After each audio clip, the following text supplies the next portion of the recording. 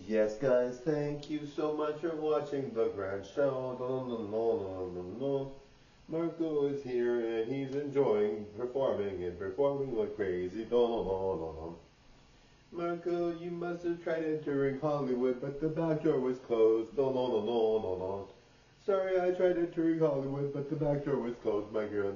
That's what I just said, buddy. Sorry, my girl, I didn't hear you. Try entering the front door this time. It's open. Thank you, Melina. Well, this is no,